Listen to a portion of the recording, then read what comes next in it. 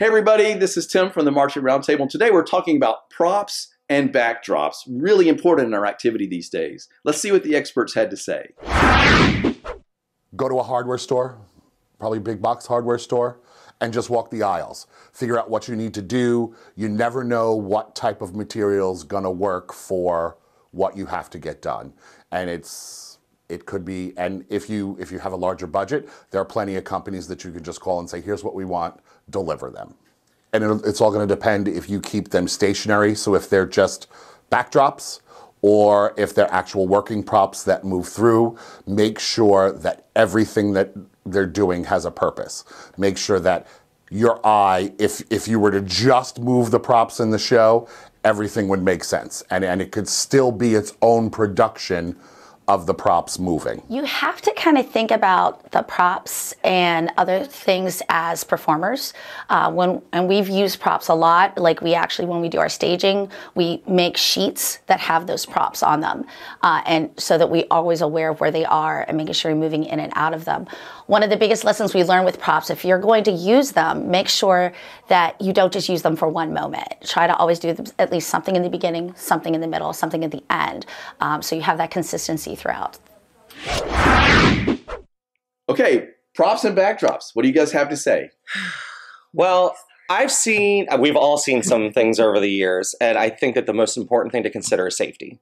Uh, you know, the each circuit and the the national circuits have uh, taken that part of it very seriously as well, and they have um, put in place safety measures, heights, reinforcements. So please, when uh, considering props, especially if students are engaging those props, whether they're going to the top of them or you know spinning in and around them, please consider safety. Whatever the design, safety has to be paramount.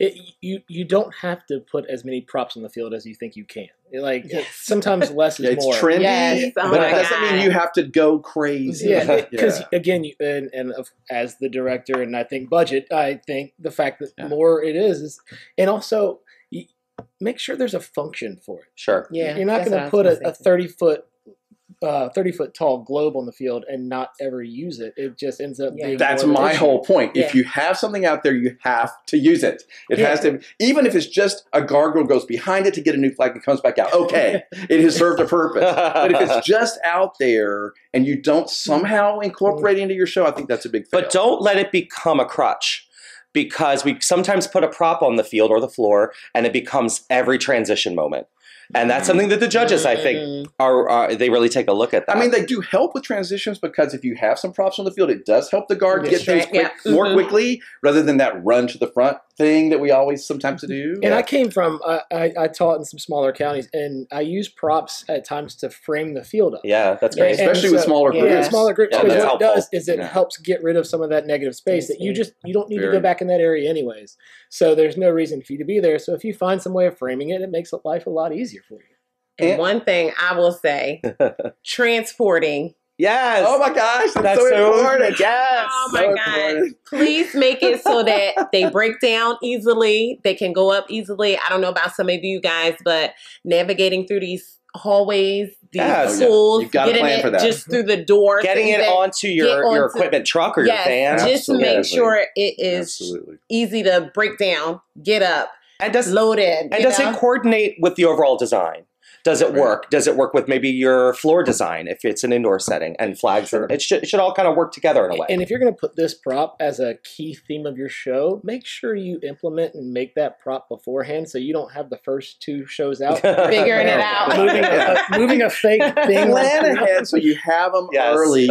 And if in the best world, make it do something nobody expects it to do. That'd be cool. Oh. That makes that makes a great prop, a really great. Yeah, a surprise yeah. to the audience. Yeah, yeah. Do something I didn't expect. I always love that in a show.